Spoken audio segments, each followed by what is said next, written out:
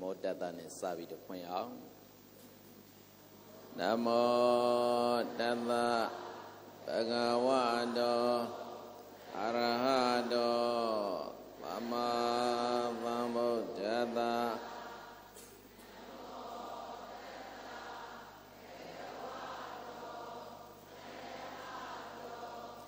သမ္မာသမ္ဗုဒ္ဓတ္တ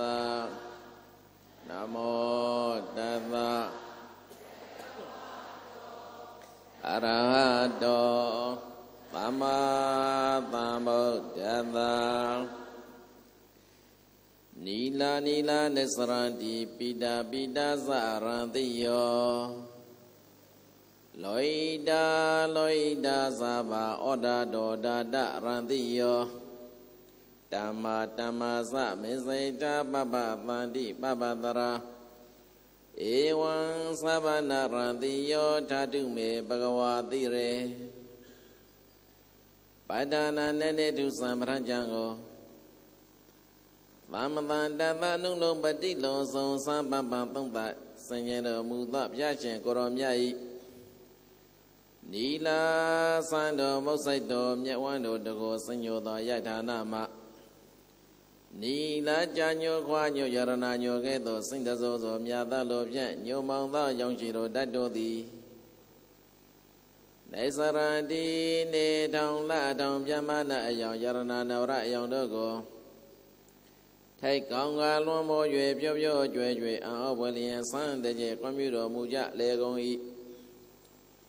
ပိတာသပင်ကြီးရွှေလိုအရေတော်မှလည်းပဲ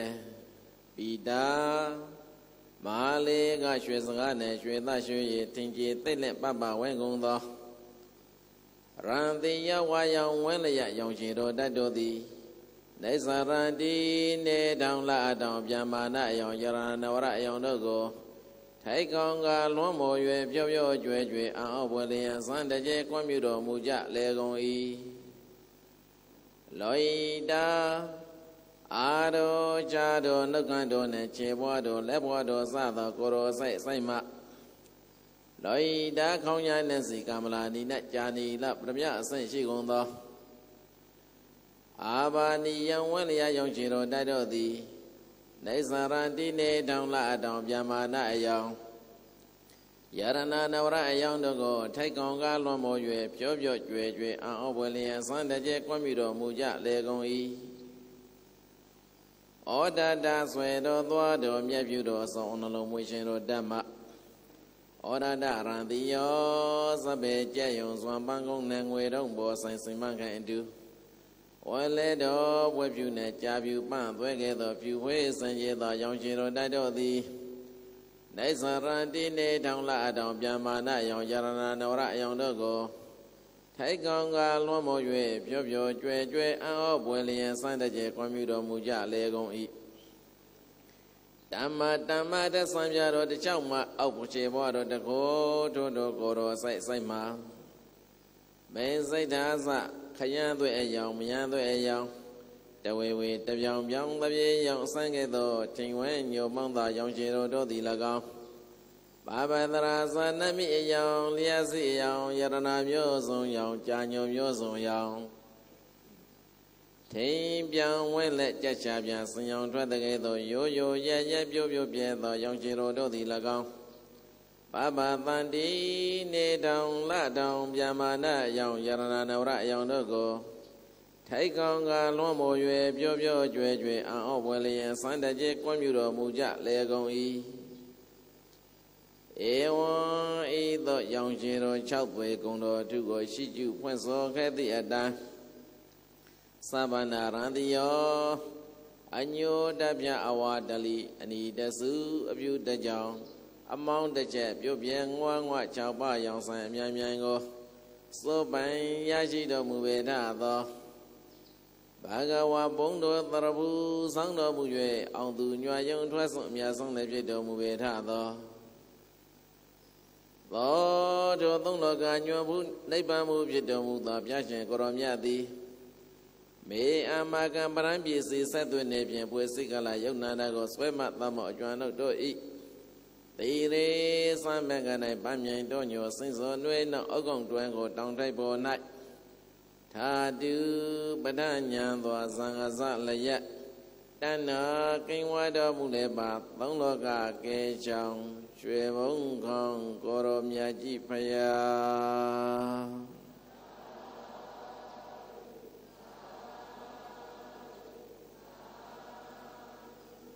နာနပဂရဌာနာနိဘောဓိတာနိဋ္ဌာမုနိနာ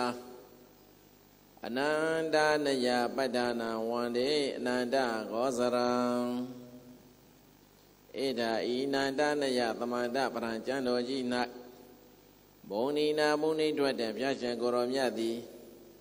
နာနပဂရဌာနာနိ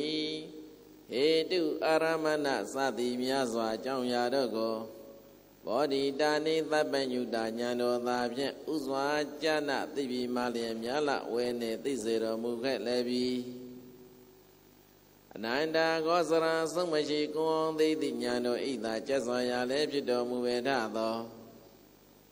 တာနန္တနယပဋ္ဌာနံမြမြောင်ပေါ်ရေနေဆောင်ကျွေသောကြည်ကျင်မြဲ့မို့ထိုပရံကျမ်းတော်ကြီးကိုဝန္ဒီတသက်တကကြုံခဲစွာမို့ကြုံလာသိခိုက်ဥပြင်တိုက်၍နှိမ့်ချိန်လာစွာ ရှိကိုကြောကြပါကုန်၏မြတ်စွာဘုရားကဲ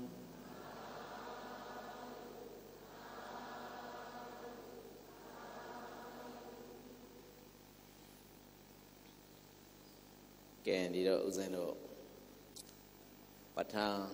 ဒီနေ့တည်းမလက်ပြန်တည်းရှေ့ကပဋ္ဌာန်းကိုသင်တဲ့အခါမှာဥစဉ်တို့ကဟေတုပစ္စည်းအာရမဏပစ္စည်းစသည်ဖြင့်ပါဠိတော်ရှိတဲ့အဆိုင်တိုင်းပင်မသွားဘဲနဲ့ပင်ကြိုအခြေခံရှိသောပုဂ္ဂိုလ်အတွက် စိတ်စေတသိက်ပြီးရင်စိတ်စေတသိက်ကိုလေ့လာပြီးဖြစ်သည့်အလျော်စိတ်စေတသိက်ကပဋ္ဌာန်းတော်ဘယ်လိုရှင်းကပ်သွားတယ်ပကိမ့်မိုင်ပြီးတဲ့အခါမှာပကိမ့်မိုင်တယုတ်ကနေပြီးတော့ပဋ္ဌာန်းပါဠိတော်ဆိုဘယ်လိုရှင်းကတ်တယ်ရုပ်မိုင်ပြီးသွားပြီရဲ့ဆိုရုပ်ကနေပြီးတော့ပဋ္ဌာန်းတော်ဘယ်လိုရှင်းကတ်တယ်သမုတ်စေပိုင်ပြီးရင်သမုတ်စေပိုင်ကနေပဋ္ဌာန်းတော်ဘယ်လိုရှင်းကတ်တယ်သမုတ်စေပိုင်မှာပါတဲ့ခန္ဓာအာယရဏဓာတ်ခန္ဓာ၅ပါးကနေပြီးတော့ပဋ္ဌာန်းတော်သွားပုံအာယရဏ၁၂ပါးနေပဋ္ဌာန်းတော်သွားပုံ ဓာတ်စိတ်ရှိပါးကနေပဋ္ဌာန်းတော်သွားပုံဒါတွေကိုအသေးစိတ်သူ့ဟာနဲ့သူဆက်ဆက်ပုံလေးတန်ကျော်ပိဓမာနဲ့ပဋ္ဌာန်းမြေပုံကိုဖတ်ထားတဲ့ပုဂ္ဂိုလ်တရားပေါ့နောက်တစ်ချိန်မှာပဋ္ဌာန်းအခြေကိုတကယ်လေ့လာရင်လည်းပဲမခက်တော့ဘူးအဲ့ဒီမြေပုံလေးကိုသေချာအောင်ဦးဇင်းတို့ကလေ့လာဆင်ရှင်တယ်အဲ့လိုမှမဟုတ်ပေနဲ့စသင်တော့ငါပဲဟိတုပစ္စည်းကိုရင်သင်လိုက်ပြီးမှအာရမဏပစ္စည်းကိုသင်လိုက်ဆိုရင်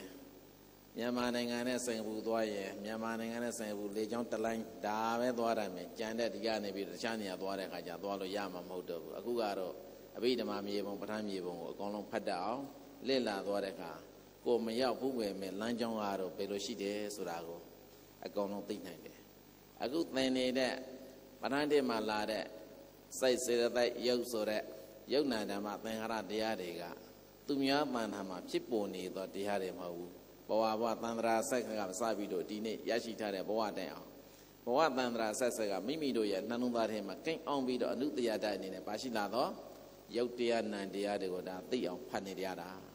ဒါလေနှလုံးသွင်းထားဖို့အရေးကြီးတယ်ဒီတော့ဥစဉ်တော်ရှေ့က2ရက်3ရက်ပြီးသွားပြီဒီနေ့စတုထာနေ့ဒီနေ့မှာပထမရုပ်လုံးခုံပေါ်သွားမယ်ဟုတ်လားရှေ့ကနေပြီးတာဟိုမန္တလေးမှာ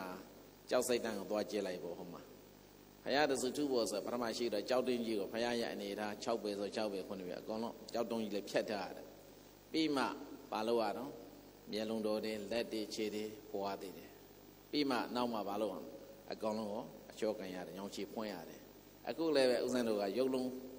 မပေါ်သေးဘူးခန္ဓာကိုယ်ကြီးတစ်ခုလုံးပဲရှိသေးတယ်ဒီနေ့သင်္နာအစာဆုံးပြီးသွားပြီဟဲ့ဆိုရင်ဒီနေ့မှာပထမ မျက်စိရဲ့နားရဲ့နှာရဲ့လျှာရဲ့ကိုယ်ရဲ့ရုပ်လုံးတွေအကုန်လုံးပေါ်သွားမှာအကျန့်တရားဒီနေ့အကုန်လုံးပြီးပြီနော်မနေ့ပြန်စွမ်းမစားမီမနေ့ပိုင်းမှာပထမကိုပါလဲသင်ထားတာအကုန်လုံးရောင်းချီတော့ဖွင့်လိုက်မယ်ပြီးမှနေဆွမ်းဖုံးပေးပြီးတဲ့အရှင်ကြာမှများများမဟုတ်ဘူးပထမအပိဓမ္မာကနေပြီးတော့သုတ်တန်ပိုင်းကိုကူးတဲ့အခါမှာဘယ်လိုနာယူရမှာလဲဆိုတာကိုတသုတ်လောက်ပဲဟောပြမယ်ဓမ္မဂရိကမဟုတ်ဘူးသို့တော့ပရိသတ်တွေရဲ့လက်ထဲမှာပဋ္ဌာန်းဆိုတဲ့ slide မိတွေရောက်နေပြီ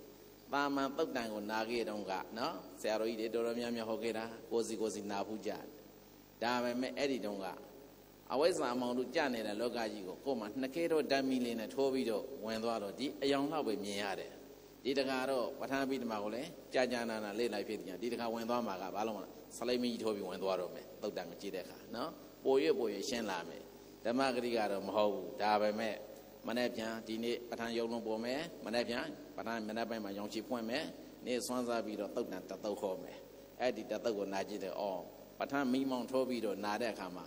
မြတ်စွာဘုရားရဲ့ဆိုလိုရတုတ်တန်တွေဟာဒါပါလားဆိုတာကိုအဲ့ဒီကြားမှာကွက်ကွက်ကွက်ကွက်မြင်မြင်မဟုတ်ဆိုရင်ပုံရှုပ်ကွယ်ရှုပ်ငုတ်နေတဲ့ဟာကိုအဲ့ဒီနှစ်ကေတော့တမ်းမီနဲ့ထိုးလို့အယောင်လည်းမလဲဘူးနော်အဲ့ဒီလိုစလိုက်မီလေးတွေကိုစီကိုစီကင်ဖို့မြေပုံလေးတွေကိုစီကိုစီကင်ပြီးတော့လမ်းမမောင်ရှောက်သွားနိုင်ဖို့အတွက်လို့တော့ဒီမှာပဋ္ဌာန်းပြီးဒီမှာကို သူ့ဟာနဲ့သူရှင်သာရိပုတ္တရာကိုမြတ်စွာဘုရားပေးတဲ့နိနာနေတရားကိုနင်းမိပြီးတော့ဥစဉ်တို့ကဝင်တော့သင်နေတာအဆိုင်တဲ့သင်သွားရင်ဟေတုပစ္စည်းနဲ့ဟေတုပစ္စည်းတစ်ခုပဲနားလိမ့်မယ်အာရမဏနဲ့အာရမဏတစ်ခုနဲ့နားမယ်အခုကအဲ့လိုမဟုတ်ဘူးအကောင်လုံးဟာတစ်ခုနဲ့တစ်ခုဆက်ဆိုင်နေတယ်နော်အဲ့ဒါလေးကိုသိစေရှင်လို့ဟိုတမျိုးတပုံမူထွင်ပြီးတော့ဒါသင်ရတဲ့အပိုင်းပဲနော်ဒါပေမဲ့တခြားနေရာတော့မရဘူးဒီပြိဿပဲရတယ်ဆိုတာသိတာနော်အဲ့ဒါကြောင့်ပါဤမှန်ကန်သောသိစ္စာစကားကြောင့်ဆက်ပြီးတော့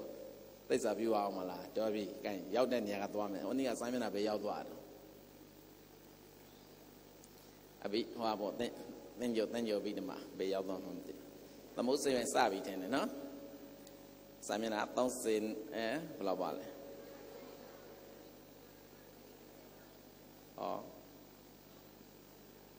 ဟုတ်ပြီစိုင်းမျက်နှာ56ဟုတ်လား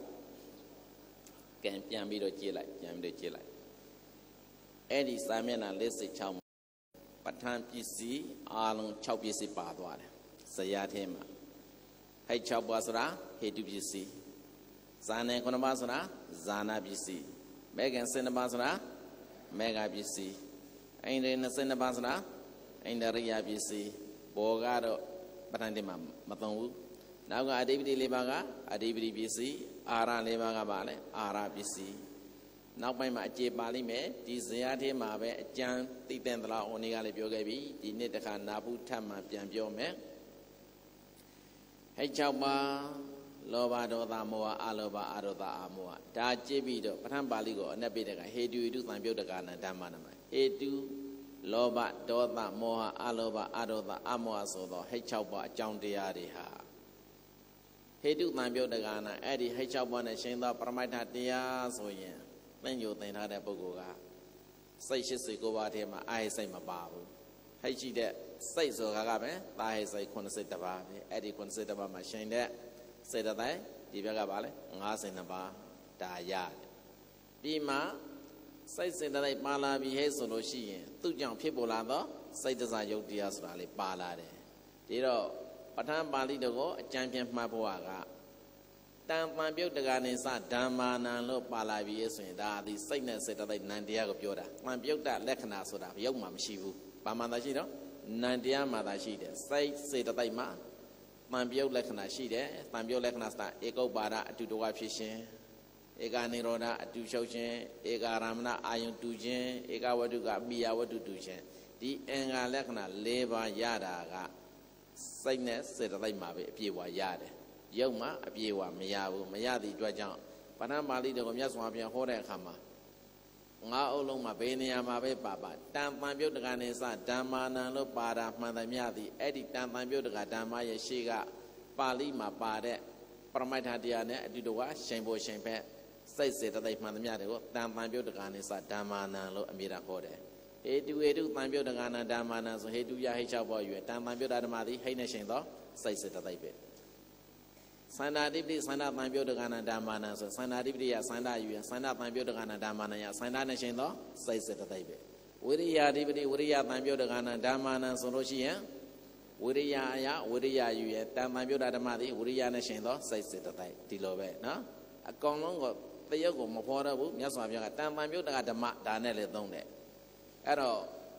ဝိမာန်သာတိပတိဝိမာန်သာတံပြုတ်တကနာဓမ္မာနဝိမာန်သာတိပတိယပညာကိုယူလို့ရှိရင် ဝိမာန်သတန်ပြောတကဓမ္မတိရပညာနဲ့ရှင်သောစိတ်စေတသိက်ပဲဒါကြောင့်ရှင်ဖဲဖြစ်သောစိတ်စေတသိက်ဆိုတဲ့နန္တရားတွေကိုမြတ်စွာဘုရားကတခုစီတခုစီမပြောဘဲနဲ့အမြဲတမ်းသင်ကြုံပြီးတော့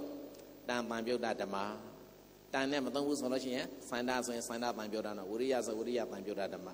အဲ့ဒါကိုတန်ပြောတာဓမ္မဆိုတာဘာလဲဆိုတော့အကုန်လုံးကိုကြည့်ကောက်လို့မြင်သူရှိကရှိနေတဲ့ကတ္တပုတ်တစ်ခုရှိတယ်အဲ့ဒီပုတ်အရာဖြစ်တော့စန္ဒပါရင်စန္ဒနဲ့ရှင်သောတရား ဝိရိယနဲ့ဝိရိယပါနဲ့ရှင်သောတရားမှန်သမျှကိုတန်တန်ပြောတာဓမ္မလို့ခေါ်တယ်ပြီးမှတခါစိတ်စေသိဆိုတဲ့တရားတွေဟာသူကြီးသက်သက်မဟုတ်ဘူးသူကြောင့်ဖြစ်ပေါ်လာတော့စိတ်တစားယုတ်ဆိုတာရှိတယ်ဒီကနေ့အလူဒါနလုပ်ကြတယ်လူတဲ့တန်းတဲ့ပုဂ္ဂိုလ်တဏ္ဍာမှာဖြစ်ပေါ်နေသောဒါနစင်တာပြဋ္ဌာန်းသောကုသိုလ်စိတ်တို့ပါဟောကံနဲ့ကံညိုထုံမျိုးမှာတဲ့ဝင်ယုံကြည်မှုဆိုတဲ့ကမ္မတရညာနဲ့လှူလိုက်ရင်သောမနာတသောညာနာတံပြအသင်္ခါရိကစိတ်ဖြစ်တယ် ရှင်ဘက်စင်တဲ့ဘယ်သူပါလဲအညာသမန်စေတဲ့စေသုံးပါသောမနာစေတဲ့25ပေါင်း38ပါပါတယ်နော်အဲ့ဒီ38ပါးသာတရားသည်ဒီဘက်က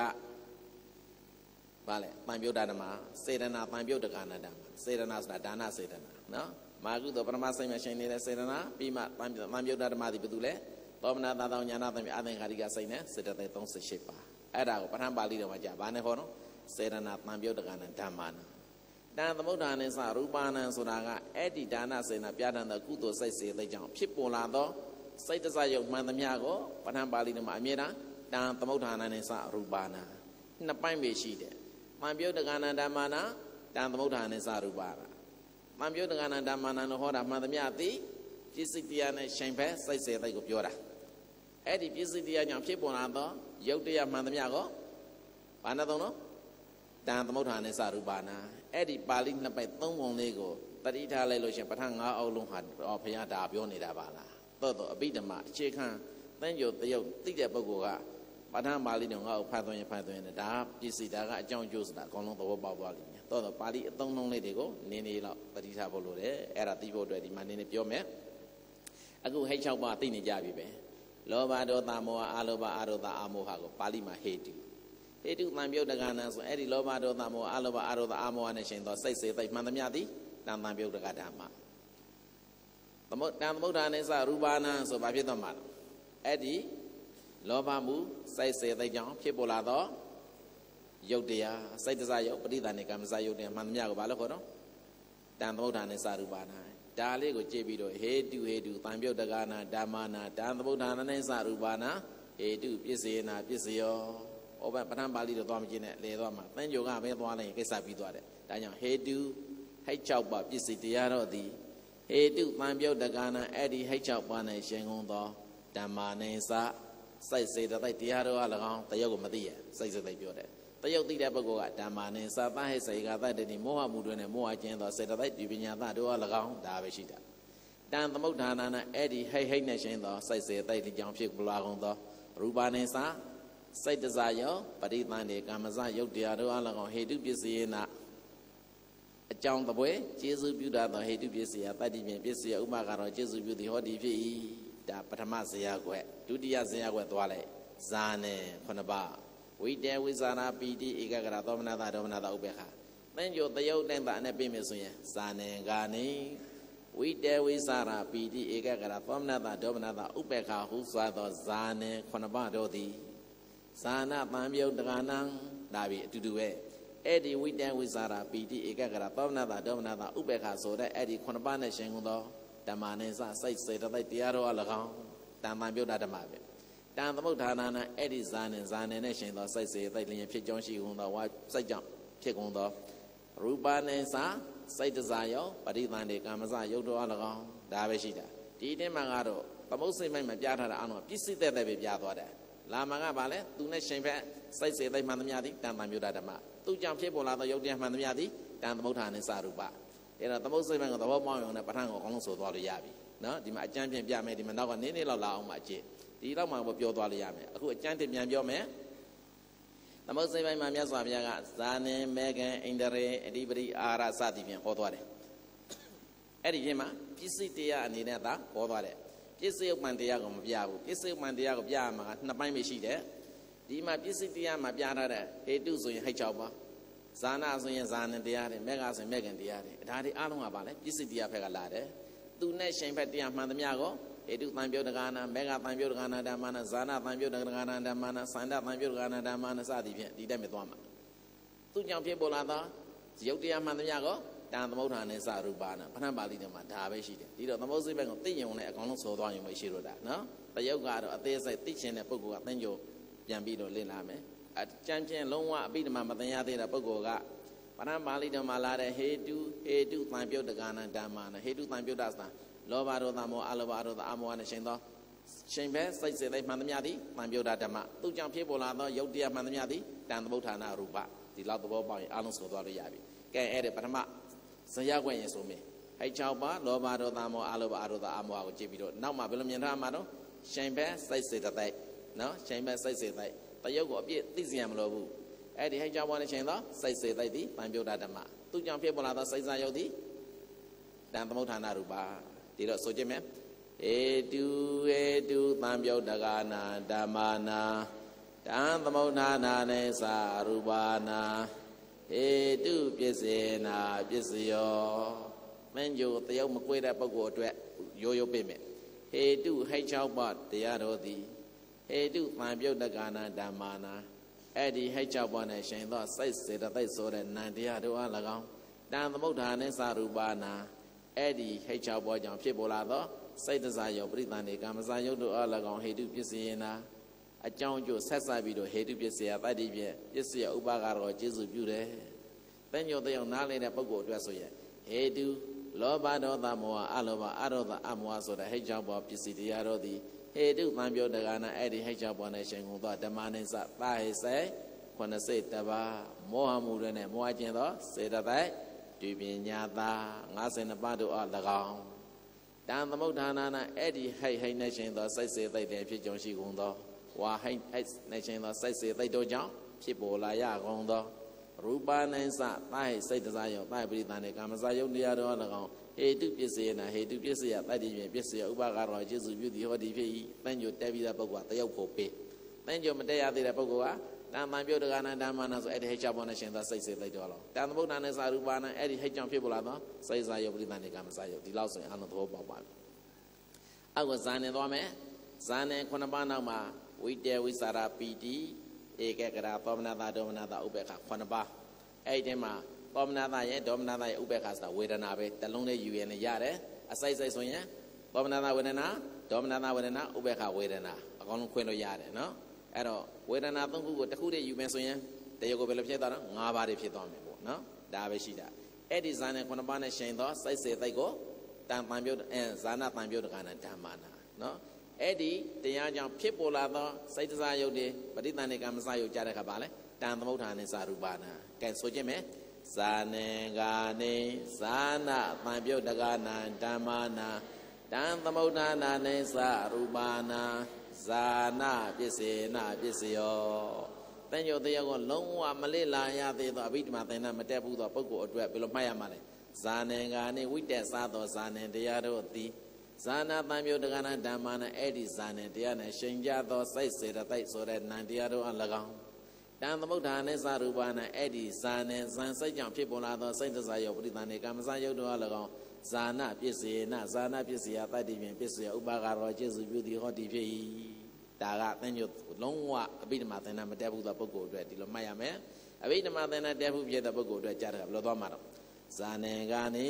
ဝိတက်ဝိဇာရာပီတိဧကကရာသောမနာသဝေဒနာဒေါမနာသဝေဒနာဥပေက္ခဝေဒနာဥစွာသောဇာနေတရားတို့သည်ဇာနာတံမြောတကနံအဲ့ဒီဇာနေခုနှစ်ပါးတို့နဲ့ရှင်ကုန်သောဓမ္မနေစဒီပိသံဝိညာတစကျေသောစေတသိက်89ခုစေတသိက်52ခုတို့အား၎င်း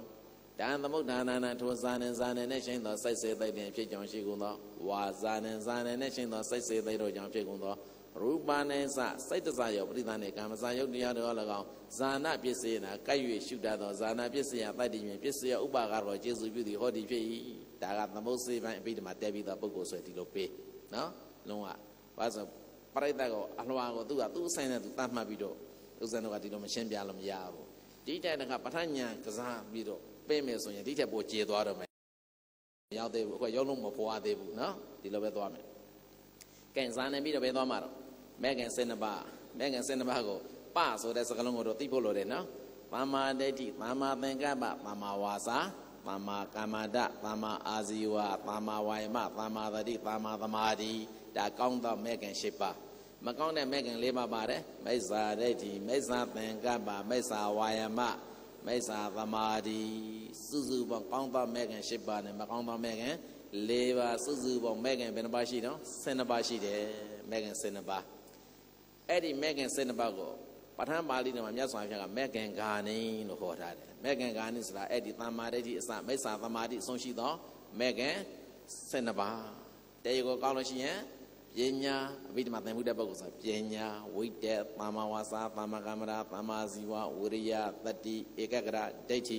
စိတ်တတိုက်မိနဲ့ပြောရင်အလုံးပဲနှလုံးရတာကိုယ်လုံးရတယ်နော်ဒါကတော့အလေးကျင့်လေလို့သိတာကိုဟုတ်မလားဥစ္စာကလေ့ကျင့်ထားတယ်ဆိုတော့အထုံးဝါသနာပါတော့ဥစ္စာတွေကတော့ ဒီပရိသတ်လေးလေ့ကျင့်မခက်ပါဘူးဒါခက်တဲ့လုံးမှာမို့လမ်းကြောင်းသိဖို့သာအရေးကြီးတာလမ်းတလမ်းကတစ်ခေါက်နဲ့မမှတ်မိဘူးဆိုတနေ့ကိုစိတ်ခေါက်လောက်ချောင်းတယ်အဲ့လမ်းမမှားတော့ဘူးဒါပဲရှိတာအဓိကအမြေပုံရှိနေဖို့အရေးကြီးတယ်ဒီတော့ဗရဏပါဠိတော်မှာရသဗျာကဒီမဲ့ခင်12ပါးကိုပဲလင်းမဲ့ခင်ကနေလို့ဟောတယ်မဲ့ကတန်ပြုတ်တက္ကနာဓမ္မာနံသည်ဘသူဖြစ်ရမှာတော့အဲ့ဒီမဲ့ခင်12ပါးနဲ့ရှင်တယ်မဲ့ခင်12ပါးဆိုတာတေယုကောက်ရဲ့ပညာဝိတ္တသမ္မာသာသမ္မာဝရသမ္မာဇေဝိရိယတတိအကကရဒိဋ္ဌိ အဲ့ဒီကိုးပါးနဲ့ရှင်သောစိတ်စေတသိက်မှန်သမျှကိုဘာလို့ခေါ်တော့မဲ့ကတန်ပြုတ်တက္ကနာဓမ္မာနာအဲ့ဒီမဲ့ခင်မဲ့ခင်နဲ့ရှင်သောစိတ်ကြောင့်ဖြစ်ပေါ်လာသောဒီဘက်ကစိတ်တစားယုတ်ပဋိသန္ဓေကမ္မစာယုတ်မှန်သမျှကိုတန်သမုဋ္ဌာနဲ့ဇာရူပါနာပဋ္ဌာန်းပါဠိတော်ကြီးတစ်ခေါက်ငါးလုံးမဒါပဲဟောနေတာပဲရှိတာဒီသဘောကိုပေါက်တယ်ရပြီအဲ့တော့လုံးဝတယုတ်မကွေးသေးသောအဘိဓမ္မာသင်္နာလုံးဝမတက်ဘူးသောပရိသတ်တွေဘယ်လိုမှတ်ရမှာလဲမေဂန်ဂာနိစတာဒီစောက်ထင်မှာပါတယ်မေဂန်စင်နပါနော်မေဂန်တန်ပြုတ်ကနာဓမ္မနာစတာအဲ့ဒီမေဂန်နဲ့ရှင်သော စိတ်စေသိမှန်သမျှကိုမေဂန်တန်ပြုတ်ကနာအဲ့ဒီမေမေနဲ့ရှင်သောစိတ်ကြောင့်ဖြစ်ပေါ်လာသောစိတ်စားရုပ်တွေကိုဒါတန်ပြုတ်ကနာစဓမ္မနာဒီသုံးချက်မှတ်ထားရင်ဆိုလိုက်လို့မရဘူးလားဆိုကြည့်မယ်မေဂင်္ဂာနိမေဃတံပြုတ်တကနာဓမ္မာနာတံသမုဋ္ဌာနာနေသာရူပါနာမေဃပစ္စေနာပစ္စယောအဘိဓမ္မာလုံးဝမလစ်လာသေးသောပုဂ္ဂိုလ်တွေအတွက်ဥစ္စာနဲ့ပြင်မယ် မေဂင်္ဂာနိမေဂင်တရားစေနပါတို့သည်မေဂင်ဘယ်နှပါတော့စေနပါစေတသိက်မိနဲ့ဆို၉ပါးပဲရတယ်နော်မေဂင်္ဂာနိမေဂင်တရားစေနပါတို့သည်မေဃပံပြုတ်တက္ကနာဓမ္မနာအဲ့ဒီမေဃစိတ်နှပါနဲ့ရှင်သောစိတ်စေသိတရားတော်အလကောတန်သမုဋ္ဌာနဲ့စရူပါနာအဲ့ဒီမေဃတို့ကြောင့်ဖြစ်ပေါ်လာသောစိတ်တစားယောပရိသနေကမစယောတော်အလကောမေဃပစ္စယနာမေဃပစ္စယတတ္တိမြင်ပစ္စယဥပါကတော်ကျေစုပြုသည်ဟောဒီဖြစ်၏ဒါအဘိဓမ္မာသင်္ဍလုံးဝမတက်ရသေးတဲ့ပုဂ္ဂိုလ်အတွက် အဘိဓမ္မာသင်္ဍတက်တဲ့အဲ့ပုဂ္ဂိုလ်အတွက်ဆိုလို့ရှိရဲ့ဒီမေဃထဲမှာပါတဲ့တရားတွေဟာအာအဟိစိတ်လုံးဝမပါမရှင်ဘူးသဟိစိတ်ပဲရှင်တယ်သူလည်းပဲဟေတုနဲ့ရှင်ဘက်တန်ပြုတ်တရားတူတယ်ဒါကြောင့်အဘိဓမ္မာကိုလက်လာပြီးဖြစ်သောသင်္နတက်ပြီးသောပုဂ္ဂိုလ်အနေနဲ့အနက်ပေးကြည့်မယ်မဲ့ခင်ကာနိသမ္မာဒိဋ္ဌိသမ္မာသင်္ကပ္ပသမ္မာဝါစာသမ္မာကမ္မရသမ္မာအာဇီဝသမ္မာဝိမသမ္မာတတိသမ္မာသမာဓိ မိစ္ဆာဒိဋ္ဌိမိစ္ဆာသင်္ကပ္ပမိစ္ဆာဝိမမိစ္ဆာသမာဓိဟုဆိုသောမဲ့ခင်စိတ်နှပါပစ္စည်းတရားတော်သည်စေတသိက်မြင်ထိုက်ပေးလိုက်အောင်ကျွမ်းကျင်ရဲ့မဲ့ခင်ကာနိပညာဝိတ္တသမ္မာဝါစာသမ္မာကမ္မရသမ္မာဇီဝဝိရိယတတ္တိဧကဂရဒိဋ္ဌိဟုစွာသောမေကံတေကိုစေတသိက်အမျိုးအစား၉ပါးတို့သည်ဒီလိုပေးလိုက်မယ်မေကံပံပြုတ်တက္ကနာအဲ့ဒီမေကံ၉ပါးတနေ့၁၂ပါးတို့နဲ့ရှင်ကုန်သောဓမ္မနိစ္စသဟိစိတ်80တပါးစေတသိက် 50ပါတော်အ၎င်းတာသမုဋ္ဌာနာနာထိုမက်ကံမက်ကံနဲ့ရှင်သောစိတ်စေတိုက်လေဖြစ်ကြောင်ရှိကုန်သောရူပနိစ္စစိတ်တစယောပရိသန်ေကာမစာယုတ်တရားတော်အ၎င်းမက်ကပစ္စယနာမက်ကပစ္စယတိုက်တိဖြင့်ပစ္စယဥပါကရောကျေစုပြုသည်ဟောတိဖြစ်၏ဒါကအဘိဓမ္မာသင်္ဍတက်ပြီးတဲ့ပုဂ္ဂိုလ်ဆိုဒီအနက်ကိုရပြီးဖြစ်ရမယ်ရှေ့မှာတော့အလုံးရေးပြီးသားနော်ဒါပေမဲ့အဲ့ဒီဇယကပြောစရာမလိုဘူးကိုကအဘိဓမ္မာသင်္ဍတက်ပြီးဖြစ်သည်ရောဒီကပဲဒီတန်သွားတာပါလားဟောမှာဇယနဲ့ပြအဲ့ဒီတပြည့်စီပြီးနားလိမ့်မယ်အခုကပဋ္ဌာန်း ပါဠိတော်ငါးအုပ်လုံးအတွက်တင်ကြုံပြီးတော့ပြောနေတာနော်ဒီတိုင်းပဲသွားမှာကဲအဲ့တော့မေဃပစ္စည်းပြီးပြီဆိုကြဆိုဟုတ်လားအကျန်ဖြင့်နောက်ပါလာမှာတော့အိန္ဒရေဘယ်နှမပြတော့22ပါးအိန္ဒရေ22ပါးအိန္ဒရေ22ပါးစက္ကုံတေသစက္ကုပတာရယုတ်သောတိန်တေသသောတာပတာရယုတ်ကာနိတေသကာနာပတာရယုတ်ဇီဝင်တေသနာဇင်ဝပတာရယုတ်ကာယင်တေသနာကာယပတာရတို့ဟုတ်လားဒါတော့ပတာရယုတ်ကိုနဲ့ပတ်သက်ပြီးတော့ အိန္ဒရေဆိုတဲ့စကလုံးနဲ့မသုံးဘဲနဲ့ရှေ့မှာနေတရားပစ္စည်းမှာဘာနဲ့သုံးကြတော့သက္ခာယရဏသောတာယရဏဂါရဏဇင်ဝနာကာယနာမှတ်မိနေနော်ဥရဇာရပစ္စည်းမှာလေသက္ခာယရဏသောတာယနာဂါရဏဇင်ဝနာကာယယရဏနောက်တော့အဋ္ဌိပစ္စည်းမှာလေသက္ခာယရဏသောတာယရဏဂါရဏဇင်ဝနာကာယယရဏငါးခုပါတယ်နော်နောက်တော့အဝိဒပစ္စည်းမှာလေစက္ခာယရဏသောတာယရဏဂာနာယနာဇိဝနာကာယယရဏ ကိုကြက်မှတ်ထားတဲ့ပဋ္ဌာန်း24ပြည့်စုံသေးမှာသက္ကုပတာရယုတ်ကိုပဲသက္ခာယရဏသောတာပတ္တသောတာယရဏစသည်ဖြင့်ဟောထားတာအလုံးဘယ်နှပြည့်စုံပါတော့1နေတယ2ပုရိသတာ3အာချိ4အဝိကဒ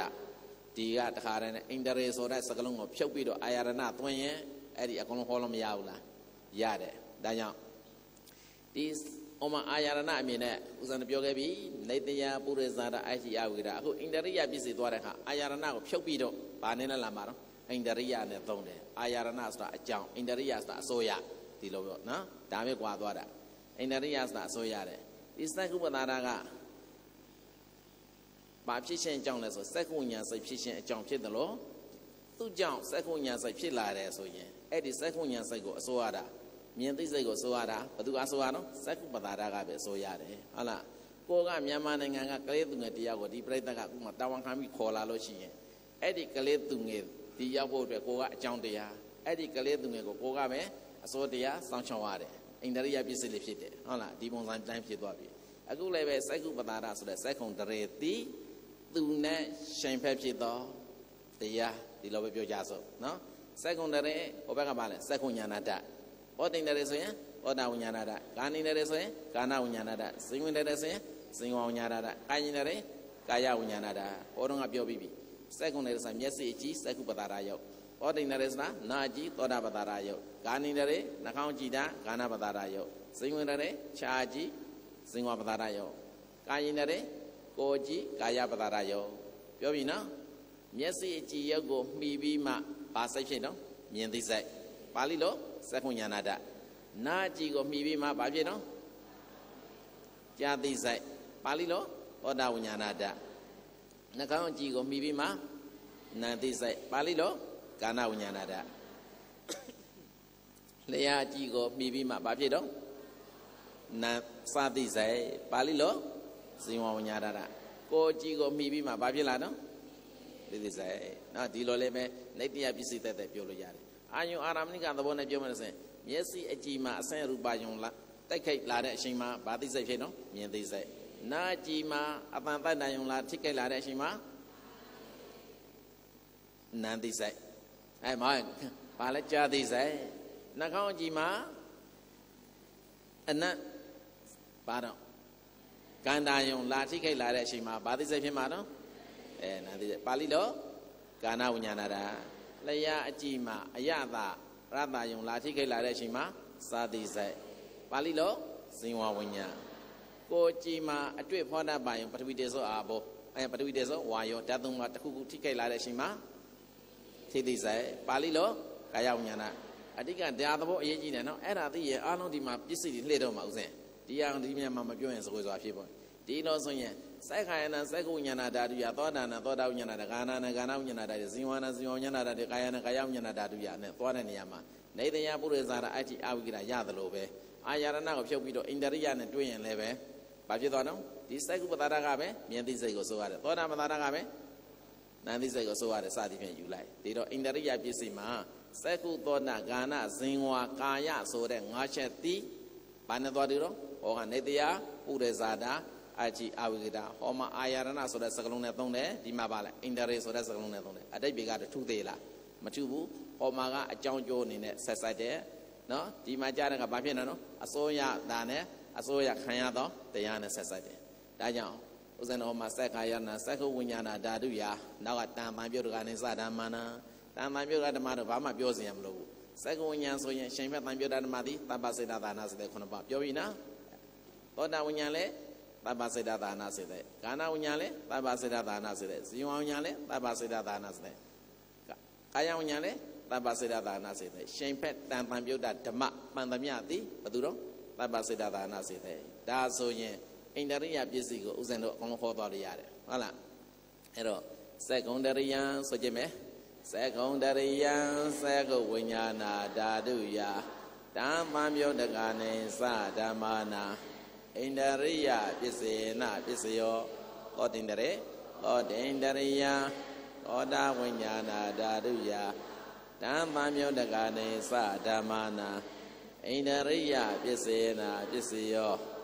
ကာနိန္ဒရိယံကာနာဝိညာဏဓာတုယဓမ္မပြောတကာနေသဓမ္မာနာဣန္ဒရိယပစ္စေနာပစ္စယောဇေဝိန္ဒရိယ ဇေဝဝိညာဏဓာတုယဓမ္မပြောတကာနေသဓမ္မာနာဣန္ဒရိယပစ္စေနာပစ္စယောကာယိန္ဒရိယကာယဝိညာဏဓာတုယဓမ္မပြောတကာနေသဓမ္မာနာဣန္ဒရိယပစ္စေနာပစ္စယောကဲဒီလောက်ဆိုသိပြီသင်္ကြိုတယကောလုံးဝမလေးလာရသေးသောအဘိဓမ္မာသင်္ဍမတက်ဘူးသောပုဂ္ဂိုလ်များအတွက် အနဲ့ပြတဲ့အခါမှာ secondary ရ secondary သည်ဒါပဲရှိတာစက္ကုဉာဏဓာတုယသစက္ကုဉာဏဓာအ၎င်းတန်တန်မြုပ်တကားနဲ့အဲ့ဒီစက္ကုဉာဏဓာတ်နဲ့ရှင်ကိုသောဓမ္မနေစစေတသိက်တရားတို့အ၎င်းအိန္ဒရိယပစ္စယေနာအိန္ဒရိယပစ္စယတတ္တိဖြင့်ပစ္စယဥပါကာရောကျေစုပြုသည်ဟောဒီဖြစ်၏မင်းညုတ်တယောက်လေးလာပြီးဖြစ်တဲ့ပုဂ္ဂိုလ်အတွက်ဆိုရင်စက္ကုံတရိယံမြင်မှုကိစ္စအစိုးရသောစက္ခုပတာဒရုပ်တို့ဆိုတဲ့စက္ကုံတရေသည် စက္ကုဉာဏဓာတုယသမြင်သိစိတ်တို့ဆိုတဲ့စက္ကုဉာဏဓာတ်အ၎င်းတန်တန်ပြောတကနာအဲ့ဒီမြင်သိစိတ်တို့ဆိုတဲ့စက္ကုဉာဏဓာတ်နဲ့ရှင်သောဓမ္မနဲ့သံတ္တပစိတ်တာသာရဏစေတဲ့ခုနှစ်ခုတို့အ၎င်းအိန္ဒရိယပစ္စယေနအိန္ဒရိယပစ္စယတတ္တိမြင်ပစ္စယဥပါကာရောကျေစုပြုသည်ဟောဒီဖြစ်၏ဒါကသင်္ကြုတ်တက်ပြီးတော့ပုဂ္ဂိုလ်အတွက်ဆိုဒီတိုင်းပေးပဋ္ဌာန်းညာကွမ်းမြူပြီးတော့ပေးမယ်ဆိုဒီတဲ့အများကြီးပေးလို့ရသေးတယ်ဒါကတော့မသင်သေးဘူးနော်ဒီသင်္ဍမှာလည်းပဲသင်လို့လည်းမမိပါဘူးအဲ့ဒါတသိပါအခုက9ရက်ဆိုတော့9ရက်အတိုင်းတာနဲ့သွားမှာပေါ့ဟုတ်လား အဲ့တော့ဒီစက္ကုဏရင်ကိုရရင်သောတိန်တဲ့ခက်သေးလားမခက်တော့ဘူးသောတိန်တရိယံအဘိဓမ္မာဒီမှာကတော့လုံးဝမတက်ရသေးတာမရှိက3ညတော့တက်ပြီးပြီဆိုတော့နေတယပုရိသဇာရအိုက်တီအဝိဒါတိမှာအကုန်လုံးပါတော့ပြီမလားပါတော့ဒီအတွက်ကြောင့်အနေပြမယ်သောတိန်တရိယံသောတိန်တရိယံကျဘာကိစ္စတော့ကြားတဲ့ကိစ္စသောတိန်တရိယံကြားမှုကိစ္စမှန်သမျှနဲ့အစိုးရခြင်းလက္ခဏာရှိတဲ့ သောတာပတာရဆိုတဲ့သောတိန်တရေတိအဘိဓမ္မာညာညံ့လာပြီနော်သောတာဝိညာဉ်ယာစကြာတိစိတ်လို့ခေါ်ပညာသမုတ်အပ်သောသောတာဝိညာဏဓာတ်အ၎င်းတံမှန်ပြောတက္ကနာအဲ့ဒီသောတာဝိညာဉ်စိတ်နဲ့ရှင်ကုန်သောဓမ္မရင်သတ္တပစိတ်တာသာရဏစေတဲ့ခုနခုတို့အ၎င်းအိန္ဒရိယပစ္စယေနအစိုးရသည်ဖြစ်၍ကျေစုပြုတတ်သောအိန္ဒရိယပစ္စယတတ္တိဖြင့်ပစ္စယဥပါကာရကောကျေစုပြုသည်ဟောဒီဖြစ်၏တစ်ချက်ကာနိနေသွားမယ် ပို့လိုက်အောင်ကာနိန္ဒရိယနံမှုကိစ္စနံတိကိစ္စအဝဝ၌အစိုးရခြင်းလက္ခဏာသဘောရှိသောဂာနပတာဒလို့ခေါ်တဲ့ဂာနိန္ဒရေသည်ဂာနဝိညာဏဓာတုယာသနံသိစိတ်လို့ဆိုတဲ့ဂာနဝိညာဏဓာတ်အ၎င်းတန်ပံပြောတဲ့ဂာနအဲ့ဒီနံသိစိတ်လို့ခေါ်တဲ့ဂာနဝိညာဏဓာတ်နဲ့ရှင်ကုန်သောဓမ္မနိုင်စသဗ္ဗစိတ်တာသာရဏစေတသိက်ခုနပါတော်အ၎င်းအိန္ဒရိယပစ္စယေနအစိုးရသည်ဖြစ်၍ကျေစုပြုတာသော အိန္ဒရိယပစ္စယတတ္တိမြေပစ္စယဥပါကတော့ကျေစုပြုသည်ဟောဒီဖြစ်၏ဒီကသဘောပေါက်ထားဘလို့နော်ပဋ္ဌာန်းအခြေသွားတဲ့အခါဒီဟာဒီနိုင်မသွားမှာဘာမှမခဲဘူးနောက်တစ်ခုကဇိဝင်တရိယံစားမှုကိစ္စအဝဝနဲ့အစိုးရခြင်းလက္ခဏာရှိတဲ့ဇိဝပတာရလို့ခေါ်တဲ့ဇိဝင်တရေသည်အိန္ဒရိယစအစိုးရတာဇိဝဝိညာဏဓာတုယသစသည့်ဇိုက်လို့ခေါ်ပညာသမုတ်အပ်သောဇိဝဝိညာဏတအ၎င်းတံပန်းပြောတက္ကနာ အဲ့ဒီဇင်ဝဝိညာဏတတ်နဲ့ရှင်ကုန်သောဓမ္မနဲ့သံသမ္ပစိတ်တာသာရဏစေတဲ့ခုနကုတို့အ၎င်းအိန္ဒရိယပစ္စယေနာအစိုးရသည်ဖြစ်၍ကျေစုပြုသောအိန္ဒရိယပစ္စယတတ်သည်ဖြင့်ပစ္စယဥပါကာရောကျေစုပြုသည်ဟောဒီဖြစ်၏တခုနောက်ပါလာမှာကာယင်တရေကာယင်တရေစဘာဝိညာဏနဲ့တွေ့မှာတော့ကာယဝိညာဏကာယဝိညာဏဘာစိုက်တော့ထိတိစိုက်ဟုတ်လားဒါကြောင့်ကာယင်တရိယံထိမှုကိစ္စအဝဝနဲ့အစိုးရတတ်သောအစိုးရခြင်းလက္ခဏာရှိသော ကာယပသာဒလို့ဆိုတဲ့ကာယင်တရေသည်ကာယဝိညာဏဓာရုယာစထိတိစိတ်လို့ခေါ်ခေါ်ပြညာသမုဟာသောကာယဝိညာဏဓာတ်အ၎င်းတန်ပန်းပြုတ်တကနာအဲ့ဒီကာယဝိညာဏဓာတ်နဲ့ရှင်ဟုသောဓမ္မနေစဖတ်တဝေရဏပညာစေနာဧကကရဇီဝိတင်တေယမနတိကာရနကောတပပစိတ်တာသာနာစေတဲ့ခုနကုတော်အ၎င်းအိန္ဒရိယပစ္စယေနာအစိုးရသည်ဖြစ်၍ကျေစုပြုတာသောအိန္ဒရိယပစ္စယတတ္တိဖြင့်ပစ္စယဥပကာရကိုကျေစုပြုသည်ဟောဒီဖြစ်၏ဒီလိုပေးလိုက်တဲ့ပြီးရှင်းသွားတယ် နေတရမြန်မာပြန်နဲ့တော့လာမထောင်းနဲ့မမီတော့ဘူးเนาะဘာလို့ဆိုပြိဿကအညာကမြင်းသွားပြီမြင်းသွားသည့်အတွက်ကြောင့်ဒီပြိဿနဲ့လိုက်လျွညီတွေဖြစ်အောင်ဥစဉ်တို့ကအနက်တိတ်ပြီးကိုပေါ်နိုင်အောင်ပေးလိုက်တာအဲ့ဒါကိုသွားပြီးတော့မြန်မာပြန်သွားမယ်ဖြစ်တယ်မြန်မာပြန်မှာခရရတိတဲ့အတိလောက်မမြင်တော့ဘူးเนาะ ဒီထက်ပိုပြီးတော့ကိုကမြင်သွားပြီဒီလိုပဲအဲ့တော့အားလုံးဘယ်နှပါရှိသွားပြီတော့၅ပါးရှိသွားပြီဒါပြီးသွား၅ပါးပြီးတော့မရံပါဠိတော်မှာဘာလာတော့ ရူပဇီဝိတိဏရိယံကရတ္တရူပါနာအိန္ဒရိယပစ္စယေနာပစ္စယောဒီမှာအဆိုင်တိုင်းအိန္ဒရိယ22ပါးထဲမှာဘာကိုကြော်သွားတော့အဲ့ဒီအိန္ဒရိယနဲ့ပုရိသင်္ဒရိယကိုကြော်သွားတယ်အိန္ဒရိယပစ္စည်းမတတ်ဘူးနောက်မှဥစဉ်ရှင်းနေရှင်းနေရေးထားပါတယ်ဇေယမှာနော်အိန္ဒရိယနဲ့ပုရိသင်္ဒရိယကြော်လိုက်ပရံပါဠိကဘာကြောင့်ကျင်ရတာလဲဆိုတာကိုသူ့ဟာသူအကုန်အတိတ်ပြင်းရှင်းသွားမယ်ဇီဝိတိန္ဒရိယဇီဝိတိန္ဒရိယကိုဘယ်ဘယ်နှမျိုးမြင်ရမှာတော့နှစ်မျိုးမြင်ရမှာ ဟာသာဝေဒနာပညာစေဒနာဧကဂရဇီဝိတိန္ဒရိယမနတိကာရဆိုတဲ့စေတသိက်ချင်းမှာကဇီဝိတိန္ဒစေတသိက်မပါဘူးလားပါတယ်အဲ့ဒါကိုနန်ဇီဝိတိန္ဒရိလို့ခေါ်တယ်ပြီးမှတခါယုတ်28ပါးထဲမှာကဇီဝိတိန္ဒရိယုတ်မပါဘူးလားပါတယ်အဲ့ဒါကိုယုတ်ဇီဝိတိန္ဒရိလို့ခေါ်တယ်အဲ့တော့မြတ်စွာဘုရားကအိန္ဒရိယပစ္စည်းဖန်ကိုဟောတဲ့အခါမှာဒီဇီဝိတင်တယ်ဆိုတဲ့စကားလုံးကိုနှစ်ပိုင်းခွဲလိုက်တယ်ရုပ်ဇီဝိတင်တယ်လို့တစ်မျိုးနာမ်ဇီဝိတင်တယ်လို့တစ်မျိုး ကိုနာမ်ဇီဝိတင်တယ်ရဲ့အတွက်ကိုတော့သူသိမှအမိနဲ့မသုံးဝေနဲ့နောက်ကဟာနဲ့ပေါင်းလိုက်တယ်နန်တရားကိုတွေ့ရုပ်ဇီဝိတင်တယ်ကိုတော့သိမှခွဲလိုက်တယ်ခွဲလိုက်အခါမှာဘုရားကဘယ်လိုဟောတော့ရူပါဇီဝိတင်တယ်ရိယံကရတ္တာရူပါနံအိန္ဒရိယပစ္စေနာပစ္စယောရူပဇီဝိတင်တယ်ရိယံဇီဝိတရုပ်ဆိုတဲ့ရုပ်ဇီဝိတင်တယ်ရသည်ရူပဇီဝိတင်တယ်ရိယံဇီဝိတယုတ်ခေါ်တဲ့ယုတ်ဇီဝိတင်တရေသည်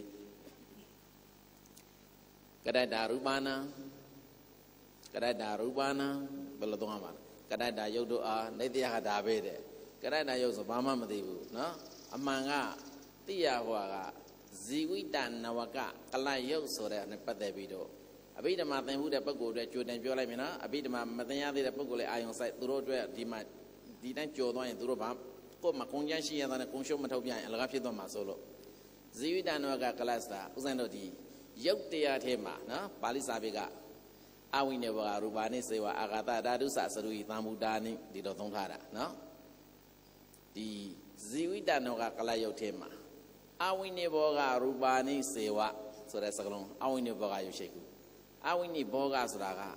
ရုပ်တရားထဲမှာတစ်ခုနဲ့တစ်ခုဘယ်လိုနေနဲ့မှခွဲခြားလို့မရဘူးအမြဲတမ်းစုပေါင်းပြီးတော့နေတယ်ဘာအရာနဲ့မှခွဲခြားလို့မရတဲ့ရုပ်မျိုးစားရှင်းမျိုးရှိပါတယ်တဲ့အဲ့ဒါဘာလဲဆိုဝါနောကန္တောရသောဩဇာဘူတာစတုတ်ကိုင်စေတိ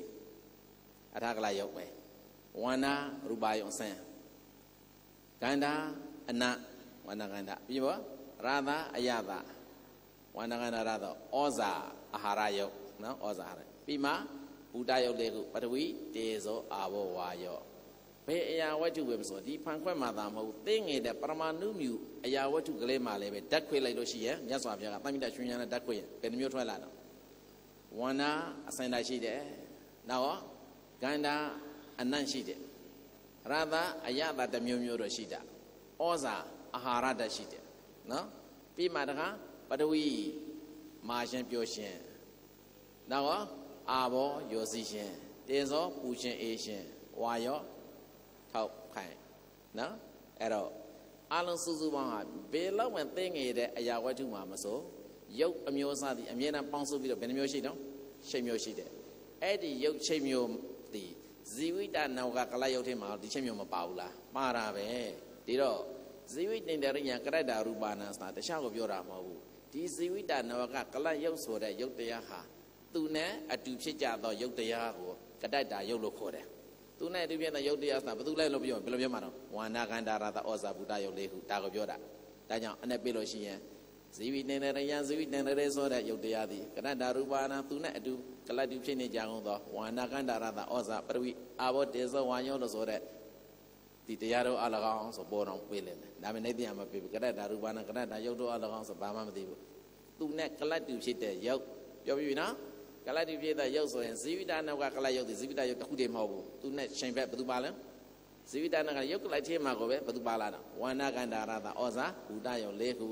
အဘိဓမ္မာလုံးဝမတရားသေးတဲ့ပုဂ္ဂိုလ်ဆိုရင်နေနေစိမ့်နေမယ် အဘိဓမ္မာတက်ပြီးတဲ့ပုဂ္ဂိုလ်ကဒါတည်းသိတယ်ဒါကြောင့်အတက်ပြမယ်ဇီဝိတနေရယံရုပ်ဇီဝိတနေရဆိုတဲ့ပြစ်စစ်တရားကလည်းပဲကရတ္တရူပါဏမိမိနဲ့ကလတိဖြစ်ကြကုန်သောရုပ်ရှင်မျိုးတို့အားအိန္ဒရိယပြစ်စေနာအိန္ဒရိရူပဇီဝိတင်ရိယပစ္စယတတ်တိမြပစ္စယဥပါကတော့ကျေစုပြုသည်ဟောဒီဖြစ်၏ဒါပဲဒီလောက်သိရတော်ပြီနော်ဟောမှာအကျေတစ်ခါပြန်ပြောမယ်ဇယနဲ့နောက်ပဋ္ဌာန်းပါဠိတွေမှာပါလာတော့အရူပိနောဣန္ဒရိယ မှန်ပြုတ်တကနာဓမ္မနာတံသမုဋ္ဌာနဲ့စာရူပါနာဣန္ဒရိယပစ္စယေနာပစ္စယောတွေ့ကြပြီနော်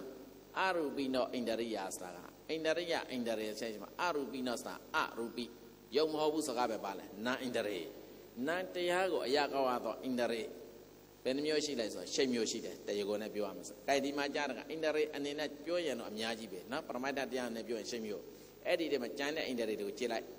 စက္ကုံတရေသောတင်တရေကာနိတရေဇီဝနေကိုင်းတို့တည်းမြတ်စွာဘုရားဟောသွားတယ်ဒါတွေအားလုံးကဘာဣန္ဒရေနော်ရုပ်ဣန္ဒရေတွေကျပဲ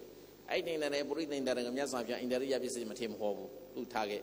ဇီဝိတင်တရေတွေကဘယ်သူပါသွားတော့ရုပ်ဇီဝိတင်တရေပါသွားတယ်ဘာဇီဝိတင်တရေကျန်တော့နာဇီဝိတင်တရေကျန်တယ်ဟုတ်လားနာဇီဝိတင်တရေဆိုတာဇီဝိပါလဲဇီဝိတင်တရေစေတသိက်ပြောတာနာဇီဝိတ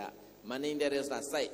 မှန်ပြီနော်မနိန္ဒရေဆိုတာစိုက်ဒုက္ခိန္ဒရေဆိုတာဝေဒနာဒုက္ခိန္ဒရေဆိုတာဝေဒနာ ဩမနာသင်္တရေဆိုတာဝေဒနာဒေါမနာသင်္တရေကလည်းဝေဒနာဥပ္ပခေန္တရေကလည်းဝေဒနာပတ္တိန္တရေကပတ္တာစေတသိက်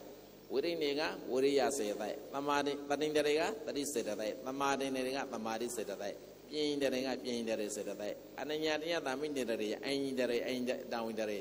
အဲ့ဒီပြင်းကြီးတရေအနညာတရားသာမိအင်ကြီးတရေအင်တာဝင်တရေလေးပါးကတော့အလုံးကပါလေပညာစေတသိက်တွေကြီးပဲနော်အဲ့ဒါအိန္ဒြေအနေနဲ့များပဲမဲ့တရားကိုတူရတူရပေါင်းပြီးပြောမယ်ဆိုရင် ဇီဝိတာစိုက်ဝေဒနာတတ္တာဝိရိယတတိသမာဓိပညာရှိမျိုးပဲရှိတယ်နော်ရှိမျိုးပဲရှိတယ်အဲ့ဒါတွေအားလုံးကိုသင်ကြုံပြီးတော့မြတ်စွာဘုရားကဘာနဲ့သုံးလိုက်တော့အာရူပိနောအိန္ဒရိယာဒီလိုသုံးတယ်ဒါကြောင့်အာရူပိနောနန္တရားသက်သက်ဖြစ်ကြအောင်သောအိန္ဒရိယာနာဇီဝိနေတယ်မနေတယ်သုခိနေတယ်ဒုက္ခိနေတယ်သမဏသိနေတယ်ဒုက္ခနာသိနေဥပ္ပေခိနေတယ်တိုက်တင်တယ်ဝရိယင်တယ်တဏိနေတယ်သမာဓိနေတယ်ဉာဏ်ကြီးတယ်အနညာတရားတယ်အញ្ញတယ် အညတာဝင်းတရေဟုဆိုသောနာအင်တရေမှန်သမျှတို့သည်ဒီလိုသုံးရမှာအဲ့ဒါတွေအလုံးကိုသိကြုံပြီးမှပဋ္ဌာန်းပါဠိတော်မြတ်စွာဘုရားဘာနဲ့သုံးတော့အာရူပိနောအင်တရိယအင်တရေအမိနဲ့သုံးရတာကြားပါတယ်ဟွာဟာလားစေတသိက်အမိနဲ့ပဲငါကျွမ်းကျင်တဲ့ငါလိုအပိဓမ္မကျွမ်းကျင်တဲ့ပုဂ္ဂိုလ်တယောက်ဒီအင်တရေအမိနဲ့မပိရှင်တဲ့ဘူးစေတသိက်အမိနဲ့ပဲပေးသွားမယ်ဆိုနန္တရားတိုက်တဲ့အမိနဲ့ဆိုဘယ်လိုပေးမှာတော့အာရူပိနောယုံမောနံဖြစ်ကြကုန်သောအင်တရိယဇီဝိတစိုက်ဝေဒနာတတ္တာဝိရိယတတိဧကဂရပညာဟုဆိုသော နိုင်တယ်တဲ့ကိုရှိတ်ပပစ္စည်းတရားတော်သည်ဒီလိုပေးလို့ရတယ်မရဘူးလားရတာအဘိဓမ္မာကျွမ်းကျင်တဲ့ပုဂ္ဂိုလ်ပြီးမှအရဝိနာအိန္ဒရိယမှန်ပြုတ်တကနာဓမ္မာနာဓမ္မုဒ္ဒနိသရူပါနာဒါပဲရှိတာခက်သေးလားမခက်တော့ဘူးကဲပါဠိနဲ့နည်းဆိုကြည့်မယ်အရူပိနောမှန်ပြုတ်တကနာဓမ္မာနာဓမ္မုဒ္ဒနိသရူပါနာနပစ္စယော အရူပိနောနာပြေကုန်သောဣန္ဒရိယဣန္ဒရေတို့သည်နော်ဣန္ဒရိယဣန္ဒရေတို့သည်အရူပိနောဣန္ဒရိယမှန်ပြုတ်တက္ကနာဓမ္မာနာအဲ့ဒီဣန္ဒရေတို့နဲ့ရှင်ကုန်သောစိတ်စေသိတရားတော်အ၎င်းတန်သမုဋ္ဌာနာနဲ့စာရူပါနာအဲ့ဒီဣန္ဒရေဣန္ဒရေနဲ့ရှင်တို့ကြောင့်ဖြစ်လာသောစိတ်တစားယုတ်ပရိသန္တေကမ္မစာယုတ်တရားတော်အ၎င်းဣန္ဒရိယပစ္စေနာဣန္ဒရိယပစ္စယတတ္တိဖြင့်ပစ္စယောဥပါကာရကောကျေစုပြုသည်ဟောဒီဖြစ်၏အဲ့ဒါကဘာကိုပြောတာတော့ အနဲ့လုံးဝမထင်တဲ့ပုဂ္ဂိုလ်တယောက်အနေနဲ့အဲ့ဒီလိုပေးအနဲ့ထင်တဲ့ပုဂ္ဂိုလ်အနေနဲ့အဘိဓမ္မာနားလေတဲ့ပုဂ္ဂိုလ်တယောက်အနေနဲ့ဆိုဘယ်လိုပေးလိုက်မှာတော့အာရူပိနောနာပြေကုန်သောဇရာကိုကြည့်ပြီးတော့ဒီအိန္ဒရေတွေတစ်ခုပြမယ်အာရူပိနောနာပြေကြကုန်သောအိန္ဒရိယာနာဇီဝိတင်္ဒရေပြီးတော့မနိန္ဒရေနောက်တော့သုခိန္ဒရေဒုက္ခိန္ဒရေသောမနာသိန္ဒရေဒေါမနာသိန္ဒရေပြီးတော့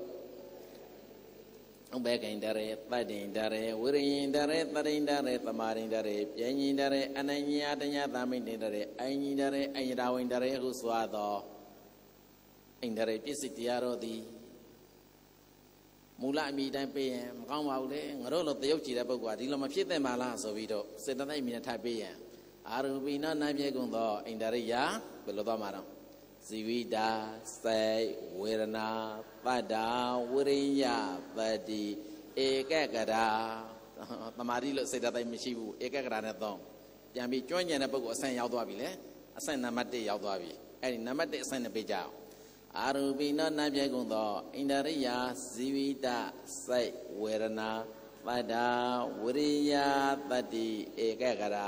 ပညာဟုဆိုအပ်သောနာအင်တရေတရားကိုရှိပပစ္စည်းတရားတို့သည်ပြီးတော့ဗလားမလားမှန်ပြုတ်တက္ကနာမှန်ပြုတ်ဖြစ်ကြကုန်သောဓမ္မနိစ္စစိတ်89ပါးစေတသိက်တော့၎င်းတော့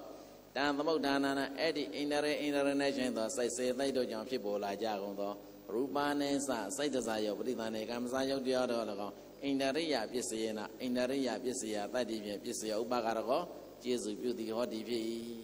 သောပါပါမလား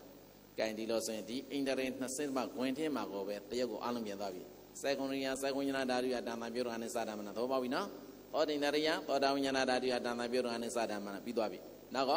ကာနိန္ဒရိယကာနဝိညာဏဓာတုယတာမပြုရအနေစာဓမ္မနာဇေဝိန္ဒရိယဇေဝဝိညာဏဓာတုယတာမပြုရအနေစာဓမ္မနာကာယိန္ဒရိယကာယဝိညာဏဓာတုယတာမပြုရအနေစာဓမ္မနာရူပဇေဝိတင်ဒရိယကရတရူပနာ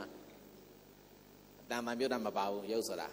ဣန္ဒရိယပစ္စေနာပစ္စယောအထက်က6ပါးသည်ယုတ်လားနံလားယုတ်ဣန္ဒရိနဲ့ပတ်သက်ပြီးတော့6မျိုးမြတ်စွာဘုရားဟောတဲ့ဣန္ဒရိယပစ္စေမှာနာဣန္ဒရိမှန်သမျှကိုအကုန်လုံးပေါင်းပြီးမှတပါးတဲ့အနေနဲ့အရူပိနောဣန္ဒရိယပါဠိစာပေမှာရူပိနောဆိုရင်ယုတ်တရားသက်သက်ပြောတာရူပိနောရဲ့ရှင်းမှာအပါပြည့်ဆိုတာယုတ်မဟုတ်ဘူးလို့ပြောတာယုတ်မဟုတ်ဆိုရင်ဘာနဲ့ပါပဲစိတ်နဲ့စိတ်တိုက်ကိုပြောတာပါဠိမှာနားထောင်လိုက်ရုံနဲ့ဒါဘုရားဘာဟောနေတဲ့စကား ဒီကြမှာဒါပစ္စည်းတရားကဘာလဲဆိုတာကိုအဲ့လိုသိရမယ်ကဲဒီလောက်ဆိုအင်တရိယပစ္စည်းဒီလောက်ဆိုပြီးပါပြီနော်ဒီမှာပင်မခန္ဓာနောက်ပိုင်းမှာသိမြန်သွားပြီကဲနောက်တစ်ခါပါလဲဘောဂောဘကောသာထားခဲ့နောက်အဓိပတိ၄ပါးအဓိပတိ၄ပါးအဓိပတိ၄ပါးစတာပါလဲသန္တာအဓိပတိဝိရိယာအဓိပတိစိတ်တာအဓိပတိဝိမာန်တာအဓိပတိကဲသန္တာအဓိပတိဆိုတာတရားကောင်းရင်သန္တာစေတသိက် သန္တာအဓိပတိဆိုတာတရားကောင်းရင်သန္တာစေတသိက်ဝိရိယအဓိပတိဆိုတာတရားကောင်းရင်ဝိရိယစေတသိက်စိတ်တာအဓိပတိဆိုတာတရားကောင်းရင်စိတ်ဒီလောက်ပဲပြောတာစိတ်တာအဓိပတိဆိုတာတရားကောင်းရင်စိတ်ဝိမာန်တာအဓိပတိဆိုတာတရားကောင်းရင်ပညာဝိမာန်တာဆိုတာဘာတော့ပညာအဲ့ဒါလေးကိုသတိထားခဲ့ဒီလိုဆိုရင်ပါဠိတော်မှာလာတာကအဓိပတိပစ္စည်းဒီမှာသန္တာအဓိပတိသန္တာပံပြုတ်တက္ကနာဓမ္မာနာတသမုဋ္ဌာနဲ့သာရူပနာ အဓိပတိပစ္စေနာပစ္စယောဝိရိယအတွက်ဝိရိယအဓိပတိဝိရိယပံပြုတ်တက္ကနာဓမ္မာနာတသမုဋ္ဌာနဲ့သာရူပနာအဓိပတိပစ္စေနာပစ္စယောစိတ်တာအဓိပတိစိတ်တာပံပြုတ်တက္ကနာဓမ္မာနာတသမုဋ္ဌာနဲ့သာရူပနာအဓိပတိပစ္စေနာပစ္စယောဝိမန္တာအဓိပတိဝိမန္တပံပြုတ်တက္ကနာဓမ္မာနာတာသမုဋ္ဌာနေသရူပနာ အဓိပတိပစ္စေနာပစ္စယောနောက်တစ်ခုကြံသေးတယ်ယံယံဓမ္မံကရုံကတ္တဝယေယေဓမ္မဥပ္ပေသံတိစိတ်တစေတိကဓမ္မတေတေဓမ္မတေတံတေတံဓမ္မနာအဲအားလုံး၅ဘိုက်ပါတယ်၅ဘိုက်မှာသန္တာအဓိပတိ ဝိရိယာအဓိပတိစိတ်တာအဓိပတိဝိမာန်တာအဓိပတိကိုသူကမဟာဇာတာအဓိပတိ၄မျိုးလို့ခေါ်တယ်အောက်ကယံယံဓမ္မကရုံကတ္တဝနဲ့လာတာကိုအာရမဏအဓိပတိလို့ခေါ်တယ်အဓိပတိရဲ့သဘောကိုကြိုတင်ပြောထားမယ်အဓိပတိဆိုတာလောကမှာနှစ်ခုမရှိဘူးတစ်ခုတည်းပဲဟုတ်လားအခုအဓိပတိ၄ပါးလို့တယုတ်နဲ့ပြထားပေမဲ့ဌာနတစ်ခုမှာအဓိပတိတဦးတည်းပဲရှိရမယ်နှစ်ဦးဖြစ်နေအဲ့ဒါဘယ်သူအဓိပတိလို့ပြောလို့မရဘူး အိန္ဒရိယအစိုးရဘုံနဲ့အဓိပတိအစိုးရဘုံမတူဘူးအဓိပတိအစိုးရမှုဒီစိုက်ကြဝဠာမင်းရဲ့အစိုးရမှုနဲ့အတူတူပဲပြိုင်ဖက်မရှိဘူးတဦးတည်းပဲထိုင်ကုန်တလုံးနဲ့ပဲသူအတွက်သူနဲ့ရှင်ပြီးတရားလူဝန်ထိုင်တော့မရဘူးနော်ဩ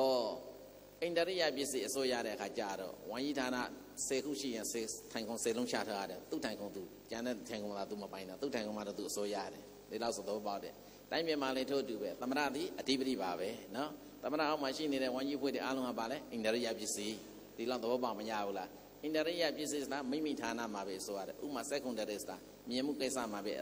သူအစိုးရတယ်ကြားတဲ့ကိစ္စသောတာဉာဏတမသွားသူအစိုးမရဘူးဘာမှတော့အမိပေးလို့မရဘူးနော်အဲ့လိုပဲကာဏပဒါရဟာလည်းပဲနန္တိစိတ်မှာပဲသူအစိုးရတယ်အဲ့ဒီလိုအဓိပတိကြားတဲ့ခါအဲ့လိုမဟုတ်ဘူးပြိုင်ဖက်မရှိဘူးအရာအလုံးကိုအစိုးရတယ် အကြည့်မှုဖြစ်နေတာကိုဘာလို့ခေါ်တော့အဓိပတိပစ္စည်းဒါကြောင့်စัจ java ဝိမေကဲသို့ပြိုင်ဖက်မရှိအကြည့်အမှုအဖြစ်ဖြင့်ကျေစုပြုတဲ့ပစ္စည်းကိုအိန္ဒရိယပစ္စည်းပါမန်ရိုးရိုးပရိသရိမဲ့အစင်းလောက်နဲ့ကိုယ်နိုင်ငံကိုယ်ဒေသတဝမ်းတလျာလောက်ပေါ်မှာသာလျှင်ဩဇာအာဏာတက်ရောက်တဲ့ပုံစံမျိုးနဲ့အစိုးရချင်းသဘောဘာလို့ခေါ်တော့အိန္ဒရိယပစ္စည်းတခါနေကြရိုးထွေးသွားတယ်အဲ့ဒါတွေမရိုးထွေးအောင်အဲ့လိုမှတ်လိုက်နော်အခုဒီမှာအိန္ဒရိယပစ္စည်းနဲ့ပတ်သက်ပြီးတော့ပြီးခဲ့ပြီအခုအဓိပတိကဏ္ဍကိုသွားရတော့မယ်အဲ့တော့ အဲ့ဒီနှစ်ခုကိုမပြောရင်ဇဝေဇွာဖြစ်မှသိချလို့နော်အဲ့တော့အဓိပတိမှာသန္တာအဓိပတိသန္တာအဓိပတိဆိုတာတရားကောင်းရင်သန္တာစေတသိက်ပဲဝိရိယအဓိပတိဆိုတာဝိရိယစေတသိက်စိတ်ဓာတိပတိဆိုတာစိတ်ဝိမာန်ဓာတိပတိဆိုတာပညာအတူကောက်ဒီလောက်ပဲမှတ်ထားလိုက်အဲ့ဒီတည်းမှာသန္တာတိပတိသန္တာတံပြုတ်တကနာဓမ္မနာသန္တာတိပတိယသန္တာကိုယူရင်သန္တာတံပြုတ်တကဓမ္မသည်အဲ့ဒီသန္တာနဲ့ရှင်သောစေတသိက်မှန်သမျှသည် အဲသန္တာနဲ့ရှင်သောစိတ်စေတသိက်မှန်သမျှသည်တံပြုတ်တဲ့ဓမ္မတန်သမုဒ္ဒာနဲ့စရူပနာဆိုရင်အဲ့ဒီသန္တာသန္တာနဲ့ရှင်သောစိတ်စေတသိက်ဖြစ်တဲ့ယုတ်တရားတွေကိုတန်သမုဒ္ဒာနာရူပါဖခင်ကသုံးချက်စီခွဲတဲ့ပစ္စည်းတရားကကိုတိတ္တတစ်ချက်ဟောတယ်ပစ္စည်းနဲ့ရှင်သောရှင်ဘက်တရားကိုတံပြုတ်ဓမ္မအဲ့ဒီပစ္စည်းကြောင့်ဖြစ်သောအကျိုးတရားယုတ်တရားမှန်သမျှကိုတန်သမုဋ္ဌာနာရူပအမေတံဒါကြောင့်သန္တာတိပတိသန္တာတံပြုတ်တက္ကနာဓမ္မာနာဒါနံတရား တန်သမုဋ္ဌာနဲ့စရူပါနာဒါယုတ်တရားဒီလိုမြင်ရမယ်နော်ပါဠိရွတ်တဲ့ရွတ်တဲ့အဲ့ဒီလိုအကျိုးဘာလို့သန္တာကြောင့်ဖြစ်ပေါ်လာနိုင်သောအကျိုးနှမျိုးရှိတယ်နာအကျိုးတရားတစ်ခု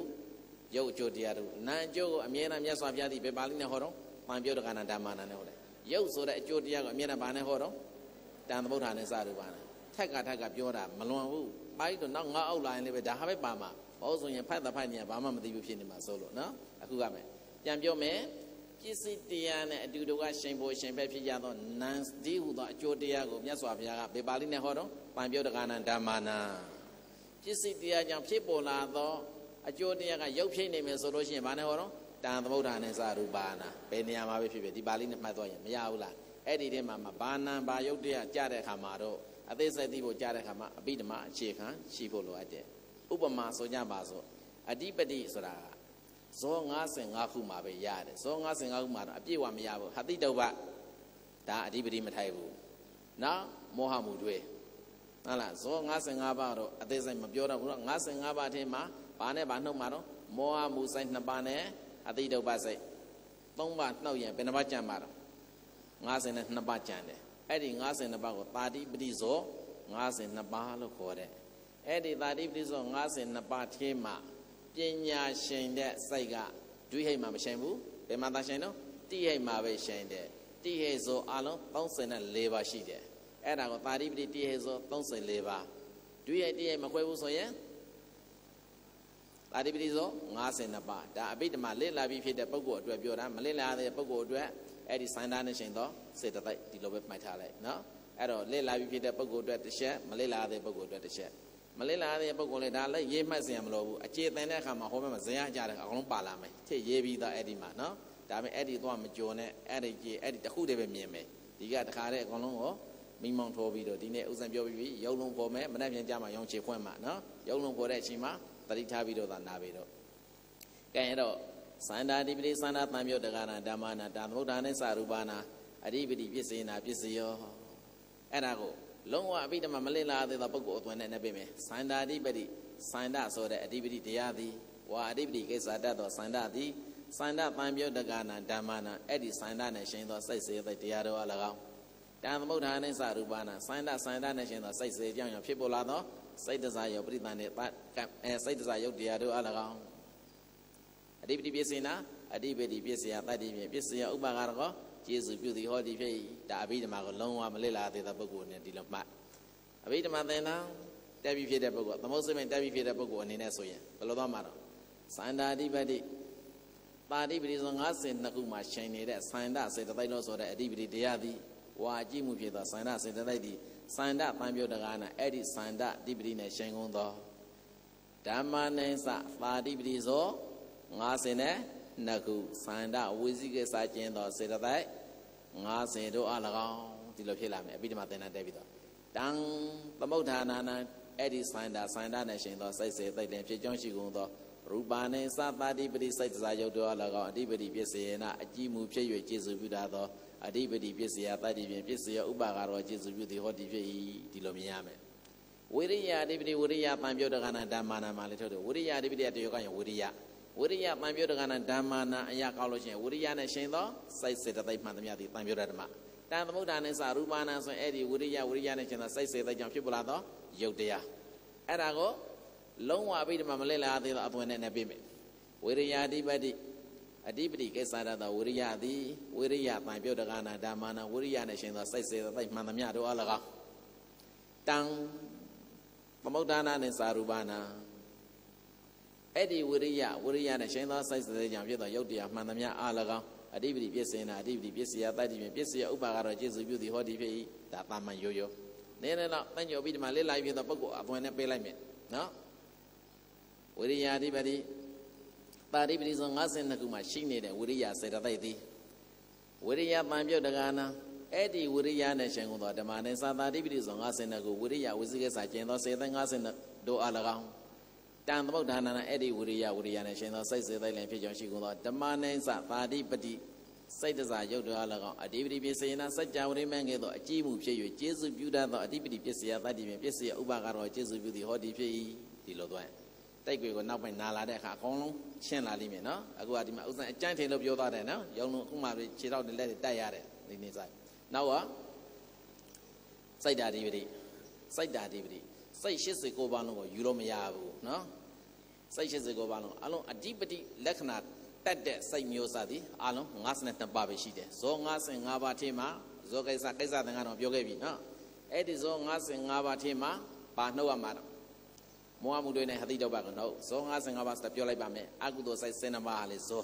မာကုသိုလ်စိတ်10ပါးဇောပြီးမှပါလဲမာကရိယာစိတ်10ပါးဇောမေဂကုသိုလ်စိတ်9ပါးဇော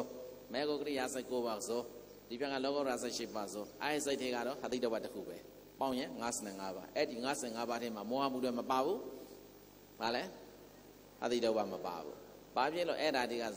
ဒီမှာအဓိပတိကိစ္စထဲမှာမပါလာတဲ့ဆိုမောဟမှုတွေမှာဝိသိကိစ္စဆိုတာသိတယ်နော်ဝိသိကိစ္စဆိုတာဘာလဲဖျားဟုတ်မှာဟုတ်ရဲ့လားတရားဟုတ်မှာဟုတ်ရဲ့လားအရာရာမှာဇဝေဇဝါဖြစ်နေတဲ့စိတ်တသိက်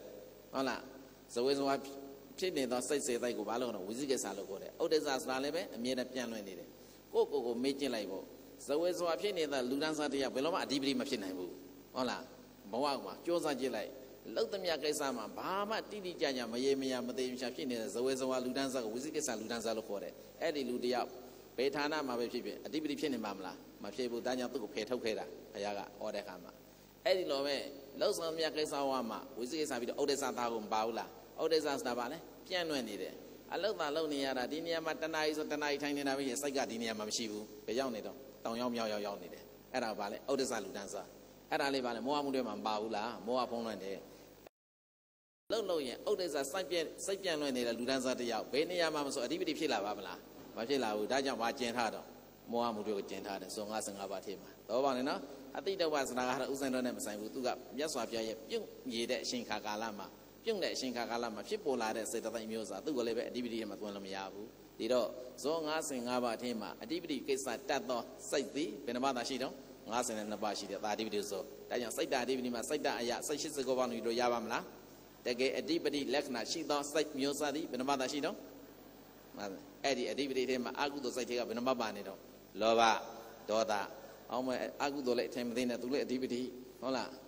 မိုက်ကန်တဲ့နေရာမှာအဓိပတိလက္ခဏာရှိတယ်ဟုတ်လားသူတစ်ပါးကတတ်ရမယ့်နေရာမှာလည်းတကယ်အဓိပတိဆန္ဒပြင်းထန်လာပြီးဆိုတတ်ကိုတတ်ပြလိုက်တယ်ဒါမျိုးတွေပေါ့နော်ခေါ်စရာရှိရင်ခေါ်လိုက်တာပဲဆန္ဒဒီကိုရှင်တဲ့ဆန္ဒအဲ့တော့လောဘဆိုလွန်ကင်းလာတဲ့ပုဂ္ဂိုလ်တရားဒီအဓိပတိကိစ္စတဲ့ခိုးကိုခိုးတယ်ဒါမျိုးပေါ့အကုသိုလ်ဘက်မှာအဲ့ဒီပုံစံမျိုးဒေါသဆိုလွန်ကင်းလာတဲ့ပုဂ္ဂိုလ်သူတို့ကရိုက်စရာရှိရိုက်တယ်ဟုတ်လားတိုက်စရာရှိတာဒါဘာလို့အဓိပတိကိစ္စတက်လို့အဓိပတိဆိုအကောင်းဘက်မှာကြီးအဓိပတိလို့သုံးလို့မရဘူးအကုသိုလ်ဘက်မှာကောင်းဆောင်နေလေပါလေ အဓိပတိကောင်းတွေအများကြီးရှိတယ်ဟာလားကဘာရုပ်လောကကြီးတွေမှာလိုက်ပြီးတော့ဟောနိုင်ငံဖြည့်စီဒီနိုင်ငံဖြည့်စီလုပ်နေတဲ့အဓိပတိကိစ္စတက်တဲ့ကောင်းတွေအဲ့ဒါဘာအဓိပတိတော့အကုသိုလ်အဓိပတိတွေပဲနော်အဲအဲ့ဒါပထမနေ့မှာအကုန်လုံးသိကြုံပြီးတော့မြတ်စွာဘုရားကဒီမှာဟောထားတယ်ကဲအခုဥစဉ်ဘာအဓိပတိရောက်နေတော့စိုက်တာအဓိပတိစိုက်တာအဓိပတိတွေမှာစိတ်89ပါးလုံးပါလားမပါဘူးဘယ်နှမသာပါတော့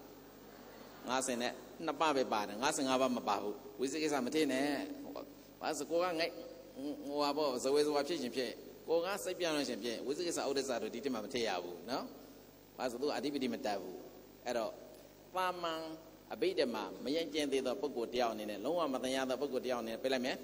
စိတ်ဓာအဓိပတိအဓိပတိကိစ္စတတ်သောစိတ်သည်ဘာမှမသိသေးဘူးဟုတ်လားမသိသေးတဲ့ကြောင့်အဘိဓမ္မာမသိရသေးစိတ်ဓာအဓိပတိအဓိပတိကိစ္စတတ်သောစိတ်ဒီဝါစိတ်ဓာအဓိပတိဆိုတဲ့သဘောတရားသည်စိတ်ဓာပံပြုတ်တက္ကနာဓမ္မနဲ့အဲ့ဒီစိတ်နဲ့ရှင်ကုန်သောစေတသိက်ပရမတ္ထတရားတော်အ၎င်း ဒါသမုဒ္ဒါနဲ့သာရူပနဲ့အဲ့ဒီစိတ်ဓာအဓိပတိကြောင့်ဖြစ်ပေါ်လာသောယုတ်တရားမှန်သမျှအား၎င်းအဓိပတိပြည့်စင်တာအဓိပတိပြည့်စရာတတ်ဒီဖြင့်ပြည့်စင်ရဥပကာရကောကျေစုပြုသည်ဟောဒီဖြစ်၏ကဲဒီတခါကြတော့အဘိဓမ္မာသင်တဲ့တက်ဖို့ပြီးတော့ပုဂ္ဂိုလ်အနေနဲ့တညွတ်တရကွဲပြီးသားပုဂ္ဂိုလ်အနေနဲ့အနေပြမယ်စိုက်တာဒီပတိပါတိပတိသော52ခုစွာသောစိုက်တာဒီပတိသည်တော့ပါပြီနော်စိုက်အားလုံးယူလို့ရလားမရဘူး စိုက်တာဒီပတိဇော55ခုတည်းမှာမောဟမှုတွေကိုနှုတ်ဟတိတ်တုပ္ပါကိုနှုတ်ကြံ52ပါးလို့ဆိုတဲ့စိုက်တာဒီပတိသည်တော့ပါပြီနော်စိုက်တာပံပြုတ်တက္ကနာအဲ့ဒီ52ပါးသောစိုက်နဲ့ရှင်ကုန်သောဓမ္မနိစ္စဝိဇိကိစ္စကျင်တော့စေတသိက်50တပါးတော့လောင်းစေတသိက်52ပါးဒီမှာဝိဇိကိစ္စမပါဘူးလားဟုတ်လားသူ့ကိုတော့နှုတ်ထခဲ့ပါတဲ့နော်မနှုတ်လို့မရဘူးသူကြတော့အုံနှုတ်ရမယ်ဇဝေဇဝါသမားဖြစ်နေတယ် ဝိဇိကိစ္စကျင်တော့စေတသိက်50တပါးတော့လောင်းတန်သမုဋ္ဌာနာနဲ့အဲ့ဒီစိတ်တတိပတိနဲ့ရှင်သောစိတ်စေသိက်တရားလင်ဖြစ်ကြောင်းရှိကုန်သောရူပနေသပါတိပတိစိတ်စာယုတ်တော်၎င်းအဓိပတိပစ္စယေနစัจ java ရေမင်းကြီးကဲ့သို့အကြည့်မှုဖြစ်၍ကျေစုပြုတတ်သောအဓိပတိပစ္စယတတိမြပစ္စယဥပါကတော့ကျေစုပြုသည်ဟောဒီဖြစ်၏ကဲအကျန့်ထေရုံလုံးပေါ်သွားပြီစိတ်ဓာတိပတိဘယ်အဓိပတိသွားမှာတော့ဝိမာန်တာအဓိပတိမှန်ပြီနော်ဝိမာန်တာအဓိပတိဆိုတာကဝိမာန်တာဆိုတာတယောကောင်းရင်ပါလေပညာ အဲ့တော့အဓိပတိတာအဓိပတိဆို50နှစ်ပါးချင်းမှာအလုံးဝိမာန်တာအဓိပတိမထိုက်ဘူးဘာကြောင့်လဲဆိုလို့ရှိရင်ဒွိဟိုက်တိဟိုက်ပါတယ်ဇော52ပါးထဲမှာယူထားတဲ့အဓိပတိဇော52ပါးယူထားတယ်ဥမာမောဟမှုတွေနဲ့အတိတ်တပါးတကျင်ပြီးသား52ပါးထဲမှာမှတခါဦးဇင်းတို့ကဘာထက်ကျင်ရမှာတော့ဒွိဟိဇောမှန်သမျှတွေကိုနှုတ်ပစ်လိုက်ဒွိဟိဇောဆိုတာကဒီအကုသိုလ်ထဲမှာဆိုရင်လောဘမှု18ပါးလောဘဟိမောဟိသူလည်းမရတော့ဘူး ဝိမာန်သားနဲ့တွေ့တဲ့အခါပြောတာနော်ဝိမာန်လောဘမှုစိတ်ပါပါနိုင်လားမပါဘူးဒေါသမှုစိတ်နှစ်ပါးကပါလို့ရပါမလားသူလည်းဒေါသဟိမောဟိသူတွေ့ရဲ့စိတ်တွေထုတ်ကြလိုက်နောက်တစ်ခါမဟာကုသိုလ်စိတ်၈ပါးထဲမှာညာနာဥပ္ပယောစိတ်၂ပါးရှိတယ်သူလည်းပါလဲအမောဟမရှိသည့်အတွက်ကြောင့်ပါလဲတွေးဟဲ့မဟာကရိယာစိတ်၈ပါးထဲမှာကညာနာဥပ္ပယောစိတ်၄ပါးမပါဘူးလားပါတယ်အဲ့တော့တွေးဟဲ့အဲ့ဒီဇော55ပါးထဲမှာပါတိအဓိပတိကိစ္စတတ်သောဇော55ပါးထဲမှာအကုသိုလ်စိတ်က လောဘမှုစိတ်၈ပါးဒေါသမှုတွေဘယ်နှပါး10ပါးဖြစ်သွားပြီမဟာကုသိုလ်တွေကညာနာဥပ္ပယော၄ပါးမဟာကရိယာညာနာဥပ္ပယော၄ပါးပေါင်းရင်၈ပါးဟိုက10ပါးနဲ့ပေါင်းရင်18ပါး52ပါးထဲမှာ18ပါးနှုတ်ဘယ်လောက်ကျန်တော့34ပါးဝိမာန်သာဓိပတိပညာရှင်တဲ့စိတ်ဒီဘယ်လောက်သာရတော့အဲ့ဒါပါတိပတိတိဟေဆို34ပါးလို့ခေါ်တယ်နော်ပါတိပတိတိဟေဆိုဒါကြောင့် ဝိမာန်သာဓိပတိဝိမာန်သာတံပြုတ်တက္ကနာဓမ္မနာတံမောဒာနဲ့စာရူပနာအဓိပတိပစ္စေနာပစ္စယောအနေပြတဲ့အခါမှာဘယ်လိုပြရမှာလဲဆိုရင်အနဲ့မထင်ဘူးအဲအဘိဓမ္မာညာမကွန့်မြူသေးဘူးဆိုရင်ဝိမာန်သာဓိပတိဝိမာန်သာဓိပတိဒီဝိမာန်သာတံပြုတ်တက္ကနာဓမ္မနာဝိမာန်သာနဲ့ရှင်သောစိုက်စေတဲ့တရားတော်၎င်းတန်သမုဒ္ဒနဲ့သာရူပနာအဲ့ဒီဝိမာန်သားနဲ့ရှင်သောစိတ်စေသိကြောင့်ဖြစ်ပေါ်လာသောရုပ်တရားမှန်သမျှတို့ဟော၎င်းအဓိပတိပစ္စေနာအဓိပတိပစ္စေယတတ္တိမေပစ္စေယဥပါကတော့ကျေစုပြုသည်ဟောဒီဖြစ်အဘိဓမ္မာတရားကိုမမြင်အဲ့လိုပဲအဘိဓမ္မာတရားကိုမြင်လာပြီဆိုလို့ရှိရင် ဝိမာန်သာဓိပတိပါတိပတိတိဟဲဆို34ခုမှာရှင်တွင်နေရှင်ဆက်လျက်ရှိသောပညာကိုတရားကိုအရာကောင်းရသောဝိမာန်သာဓိပတိသည်သောပါပြီနော်ဝိမာန်သာဓိပတိပါတိပတိဆို34ခုနဲ့ရှိသောပညာဟုဆိုသောဝိမာန်သာဓိပတိဒီဝိမာန်သာတံပြုတ်တကားနဲ့အဲ့ဒီဝိမာန်သာဓိပတိဆိုတဲ့ပညာနဲ့ရှင်ကုန်သောဓမ္မနိစ္စပါတိပတိဇောတိယေဇော34ခုဝိမာန်သကျင်သောစေတသိက်38ပါး 38ပါးတွေကဘယ်သူနောက်မှာပညာနှုတ်ဝိမာန်သဆိုတဲ့ပညာကိုနှုတ်စေတသိက်38ပါးတို့ alors တန်သမုဋ္ဌာနာနာအဲ့ဒီဝိမာန်သဝိမာန်သနဲ့ရှင်သောစိတ်စေသိက်နဲ့ဖြစ်ကြောင်းရှိကုန်သောရူပနိစ္စပါတိပတိစိတ်တစားရုပ်တော်၎င်းအဓိပတိပစ္စယေနာအကြည့်မှုဖြစ်၍ကျေစုပြုရသောအဓိပတိပစ္စယတတ္တိမြပစ္စယဥပါကတော့ကျေစုပြုသည်ဟောဒီဖြစ်၏ဒီကအခြေခံမှာရအောင်လို့နော်ဦးဇင်းတော်သွားမှာကပထမပါဠိတော်ငါအုပ်လုံးအတွက်တခါတည်းနဲ့ပေါအောင်ရှင်းနေတာမဟုတ်ဆိုရင်ပစ္စယနေတာတခုပဲဆိုတခုပဲနားလည်နေမှာဆိုလို့တ ခါတည်းဒီကအကုန်လုံးအခြေခံရအောင်သင်ပေးလိုက်တာကဲဝိမာသပြီးတော့ပါလာမှာရန်ရတာမှာကလုံးကတော့သွားလို့မရအောင်စိတ်နဲ့ခွဲတော့မှာနော်နောက်တစ်ချိန်လာအောင်မှာမလားဟမ်ရန်ရတာမှာကလုံးကတော့ကြာခဲအောင်မှာကိုဟောအာယုံ6ပါးပစ္စည်းတရားကနေပြီးတော့အလေးကလူပြုတ်ပြီးတော့ဒီပြဒီပြပစ္စည်းသားဒီပြအဲ့ဒါလေးကိုခဏခြံထားခဲ့မယ်နော်ဒုတိယကျင်ကြမှာဆွမ်းမဆွမ်းမိတဲ့ကျင်ကြံသေးတာနော်ကဲဒီလောက်နဲ့ပဲပထမပိုင်းမှာနေငုံရှုံမယ်အလုံးလိုက်ဆိုဣတံမေဘုံညာနိဗ္ဗာနတပစ္စယော ဩတုယနေ့ယခုကျိုးစားအထုတ်ပြုလုပ်ရသောကုသိုလ်ကောင်းမှုအကြောင်းစုသည်ဒုက္ခခတ်သိမ်းရှုံငင်းရမှန်မြတ်နိဗ္ဗာန်သို့မရောက်ရောက်အောင်ပို့ဆောင်နိုင်သည်ဖြစ်ပါစေတည်း